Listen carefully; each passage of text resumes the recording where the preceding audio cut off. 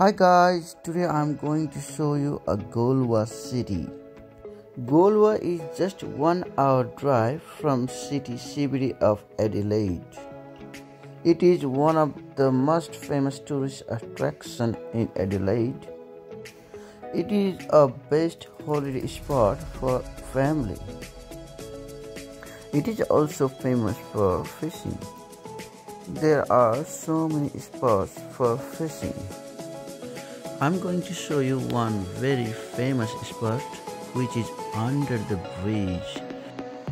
I'm going to show you the most popular spot where people usually go there for fishing purpose. Just keep an eye the video, I will show you the spot. The corner of the bridge just right here is the place where thousands of people come here for fishing. Please don't forget to like and subscribe to my channel. Thank you for watching. thank